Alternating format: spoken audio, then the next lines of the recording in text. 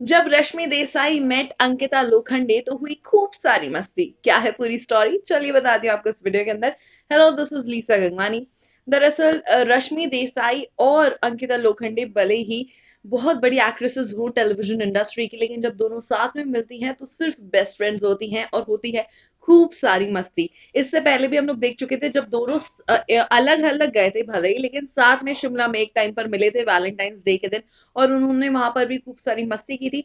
इस बार मिले हैं अंकिता लोखंडे के घर से, और गेट से ही शुरू हो गई है इनकी मस्ती, जहाँ पर अंकिता बोल रही है कि तुम इतना लेट क्यों हो गई? तो वही रश्मि बोलती हुई नज़र आ रही है सीधे दूसरे शहर से फ़्लाइट पकड़ के यहीं पर आ रही हूँ और वहाँ पर उसके बाद उनकी खूब सारी मस्ती हो रही है।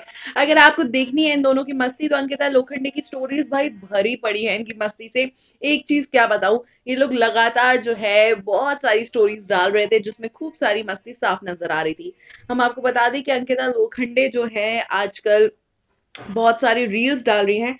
जिसकी वजह से उनको ट्रोल किया जा रहा था स्पेशली सुशांत सिंह राजपूत के मैटर को लेकर। तो उन्होंने लाइव जाकर इन सब के बारे में आ, कुछ बोला था। शी क्लैरिफाइड की किस तरीके से उनका इस मैटर में कोई इंक्लूजन भी नहीं है तभी उनको जो है इंक्लूड करके बातें सुनाई जाती हैं। वही रश्मि देसाई आजकल थोड़ा बहुत बिज़ी चल रही है इवेंट्स वगैरह को लेकर।